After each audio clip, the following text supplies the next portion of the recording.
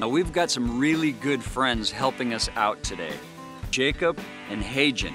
Now they're complete novices to paddling. They've gone to the rental livery and they're gonna be helping us demonstrate some of the principles that we're talking about today.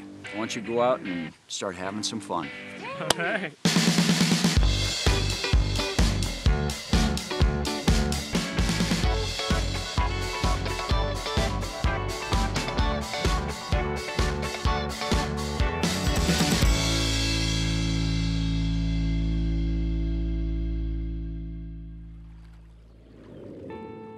Anyone familiar with the peaceful nature of paddling knows that there are few moments of tranquility in life that compare to the serenity of being out on the open water or paddling down a lazy river in a canoe or kayak. However, as with any water sport, it is vitally important to follow certain rules and guidelines to help ensure your safety. In this video, we're going to briefly outline some important rules, laws, pointers, and skills you need to know before you paddle out on the open water so that you can have a safe and enjoyable experience.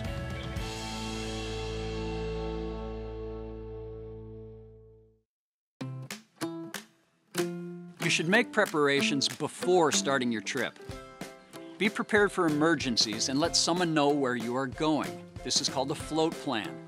An average paddler without wind and current will paddle three miles each hour. If you have a map or chart for your trip, you can use this knowledge to plan accordingly. Give yourself more time to return on your trip than when you went out, as you will be more tired. Don't attempt any trip that will be too long for your physical condition. The wind kind of pushed us out. Yeah, I Yeah. actually noticed that. You have any trouble getting back? Because the wind is going, the wind was pushing you out.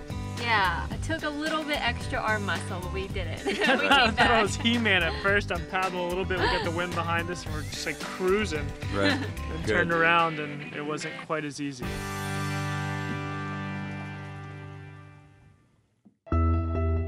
Keep in mind that weather conditions can change quickly on the water and plan and dress appropriately. If possible, plan for unexpected immersion and consider carrying extra clothes in a plastic bag. Pack appropriate gear such as drinking water, sunscreen, snacks, and a safety whistle for your trip, and don't forget shoes. Bare feet have no place in paddling.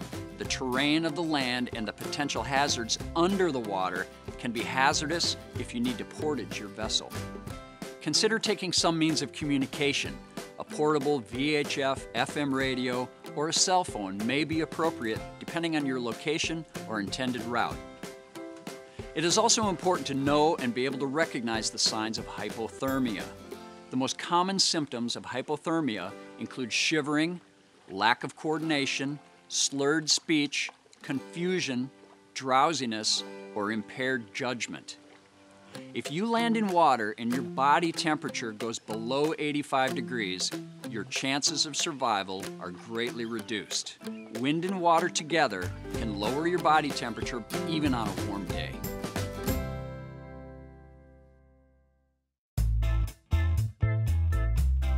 If you are new to paddling, by nature of the activity, there's a good chance that you may spend time in the water. Unfortunately, 80% of all canoe fatalities and 46% of all kayak fatalities are due to not wearing a life jacket. Now, experienced paddlers know this and are four times as likely to wear their life jackets. You should too. All life jackets must be U.S. Coast Guard approved, be of the proper size for the intended wearer, be in good and serviceable condition, including straps and zippers, and properly stowed. Keep in mind that if your life jacket is not snug, it is not properly fitted. And remember, for children under the age of 13, the use of a life jacket is required by federal law. Your rental boat livery will advise you of any local and state requirements regarding child life jacket wear while paddling. The Coast Guard recommends you always wear your life jacket while boating.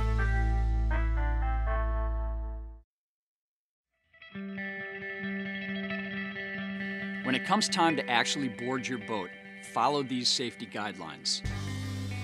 Have someone steady the vessel as you get in. Many unnecessary accidents happen while actually boarding a canoe or kayak. Stay low. keep your shoulders inside the gunnels and keep your knees bent. Hold the sides of the vessel for balance as you walk to your seat and always maintain three points of contact with the boat. Walk in the center of the boat and avoid sudden movements in order to keep it from rocking back and forth. In a canoe, always sit on the seats positioned centrally in the vessel. Sitting on the sides of the canoe may cause the vessel to capsize. Keep your head, shoulders, and hips in a vertical and upright alignment. If any of these get out of alignment, then a capsizing may occur.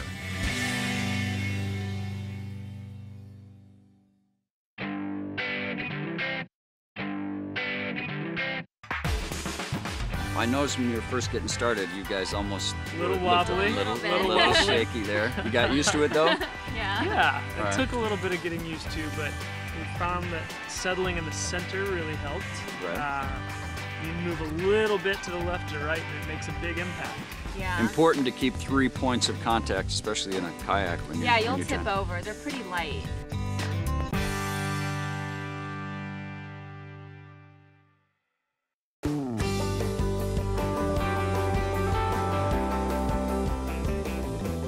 Once out on the open water, there are rules of the road that you are required to know when it comes to paddling. While you are sure to find times of solitude, chances are really good that you will be sharing the waterway with other boaters. Always keep a lookout for other boating traffic and the potential hazards that may exist. It's a good idea to stay relatively close to the shoreline. Paddling across an open expanse can be extremely dangerous due to vessel traffic and weather conditions. Paddling vessels are not nearly as large, fast, or stable as powerboats and can easily capsize when hit broadside by the wake created by other vessels or the wind. If a wave is heading in your direction, quickly turn your bow into the wave so you don't take the wave broadside. And never assume another vessel can see you, and always wear brightly colored clothes or life jackets. Never think you are fast enough to pass in front of a moving power vessel. The safest way to cross the path of a powerboat is to do so astern or behind the vessel. If your whole paddling group finds itself in front of a powerboat, be courteous and mindful of the stopping distances of these other vessels. If paddling at dusk or at night, you should have a white light aboard. Now, a flashlight will meet this requirement. If other vessels are in your vicinity, this light must be displayed in time to prevent a collision. If you don't have a light on your canoe or kayak, don't paddle after dark. You should also have some means of making the appropriate sound signals. A whistle will meet this requirement.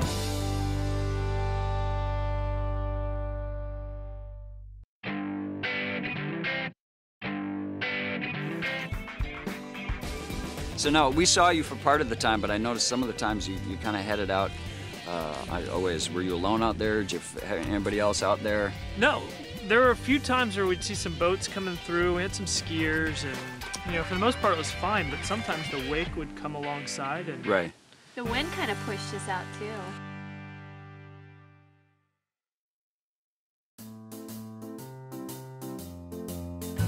Your rental livery company should alert you of any buoys, markers, and lights that you will encounter on your journey.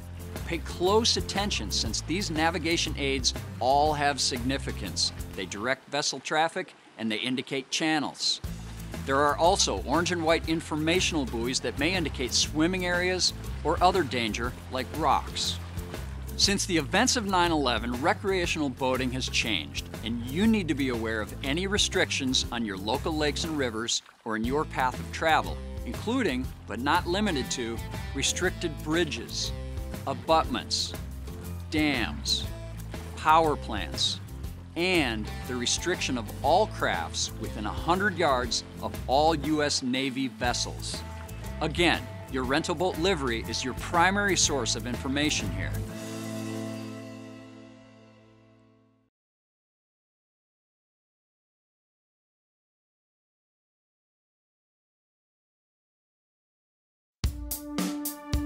While paddling, always be aware of strainers. Strainers are fallen trees, bridge or dock pilings, undercut rocks, or anything else that allows current to flow through but can hold you and trap you or your boat. Strainers can be deadly. Be conservative on the water. If unsure of a potential hazard, give wide berth and go around it.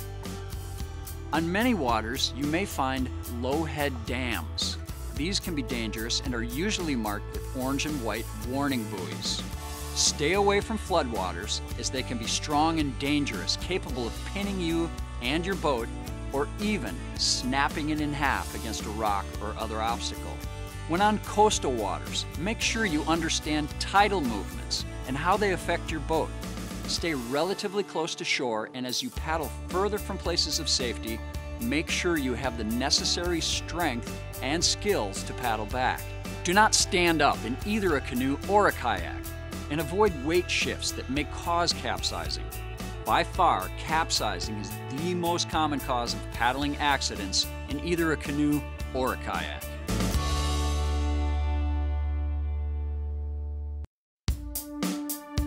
While paddling, always be aware of strainers. Strainers are fallen trees, bridge or dock pilings, undercut rocks, or anything else that allows current to flow through but can hold you and trap you or your boat.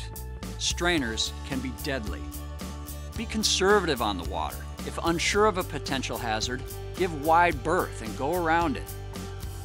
On many waters, you may find low head dams. These can be dangerous and are usually marked with orange and white warning buoys. Stay away from floodwaters as they can be strong and dangerous, capable of pinning you and your boat or even snapping it in half against a rock or other obstacle. When on coastal waters, make sure you understand tidal movements and how they affect your boat. Stay relatively close to shore and as you paddle further from places of safety, make sure you have the necessary strength and skills to paddle back. Do not stand up in either a canoe or a kayak and avoid weight shifts that may cause capsizing. By far, capsizing is the most common cause of paddling accidents in either a canoe or a kayak.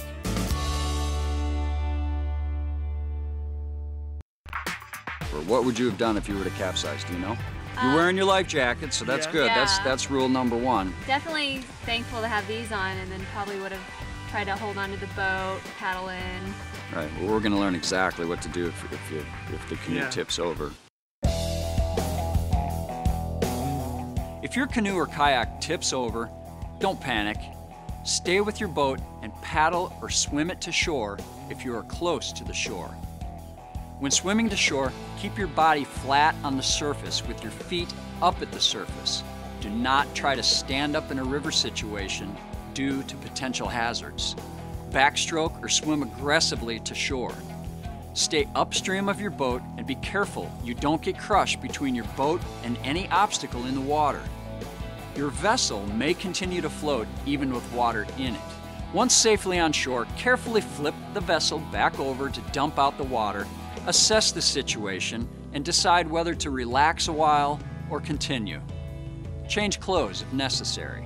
If another boat capsizes, first worry about the safety of the passengers, then go after the paddler's boat and equipment, and do so only if this can be done safely.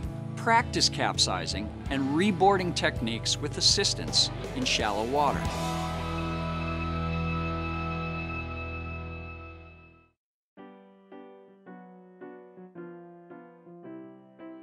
Always conduct yourself with courteous behavior.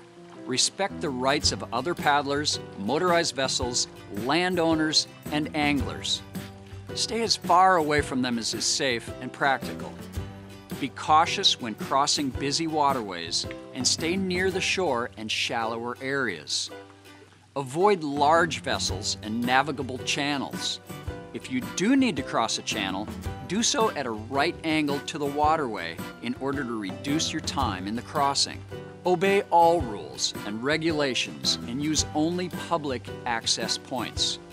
Don't engage in inappropriate behavior, never litter, do not disturb wildlife, and minimize environmental impact when launching, portaging, stopping for lunch, camping, or using nature's restroom. How about portaging? Did you do any portaging? What's Portaging. Portaging is actually where you take your canoe out of the water, Oh. and portage portage means you take it over like a piece of land where you carry your canoe from Gotcha. one point to another. But I know you probably didn't. No. get Didn't it. know that. Good, All right. good to know. We'll learn that one.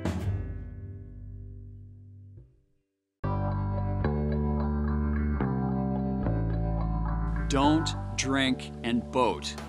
Like any other activity, paddling and alcohol do not mix. Never go paddling while under the influence of alcohol or drugs. The operation of any vessel while intoxicated is dangerous and against local, state, and federal laws. Good judgment is critical while on the water. Be aware that the effects of alcohol consumption can be intensified when you're out on the water due to a number of contributing factors such as heat and movement. Don't take any chances.